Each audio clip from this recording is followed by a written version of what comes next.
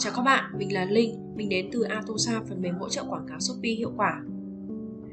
Atosa ra đời vào năm 2020 với các tính năng đấu thầu tự động, tìm ra từ khóa lãng quên, tiết kiệm chi phí và chống click tặc.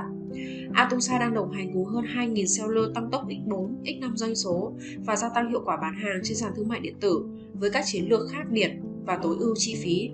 Hiện tại, Atosa đang có 8 gói phần mềm hỗ trợ phù hợp với từng khách hàng khác nhau, cụ thể như sau. Trên màn hình là hiển thị của 8 gói Atosa. Gói đầu tiên là gói Keyword Tool. Đây là gói mà các bạn có thể liên kết được một shop và sử dụng tính năng công cụ từ khóa của Atosa.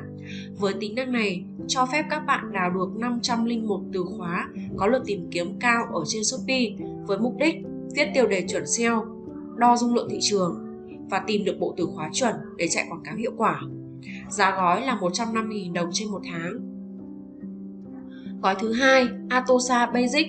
Đây là gói mà các bạn cũng có thể liên kết được một shop và sử dụng các tính năng sau của Atosa, bao gồm công cụ từ khóa, phân tích đơn hàng, đấu thầu tự động, chống click ảo, tối ưu theo CR, xóa từ khóa và đấu thầu theo vị trí trung bình. Đây là gói với giá là 450.000 đồng trên một tháng.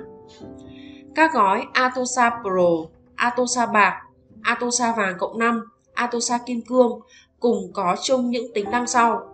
Công cụ từ khóa, phân tích đơn hàng, đấu thầu tự động, chống click ảo, tối ưu theo CR, xóa từ khóa, kiểm tra vị trí quảng cáo và đấu thầu theo vị trí chính xác. Sự khác biệt của bốn gói này đó là số shop mà các bạn có thể liên kết. Đối với gói Atosa Pro, số shop các bạn có thể liên kết tối đa là một. Atosa bạc, số shop tối đa liên kết là 3. Atosa vàng cộng 5, số shop tối đa các bạn có thể liên kết là 5. Và Atosa kim cương, tối đa các bạn có thể liên kết được 20 shop. Tiếp theo là gói Atosa Ad Spoil. Đối với gói này, các bạn sẽ có hai tính năng chính, đó là spoil vị trí quảng cáo và theo dõi từ khóa. Số từ khóa mà các bạn có thể theo dõi là tối đa 100 từ. Giá gói là 150.000 đồng.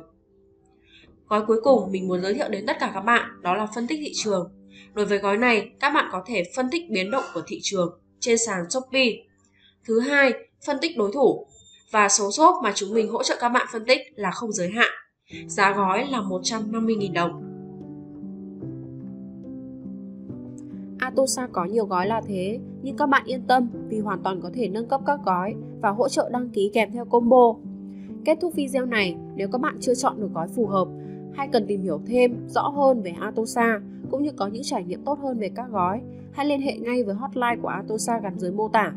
Hãy follow và theo dõi video của chúng mình bằng cách click vào kênh youtube của Atosa phía dưới nhé. Cảm ơn các bạn rất nhiều. Xin chào và hẹn gặp lại.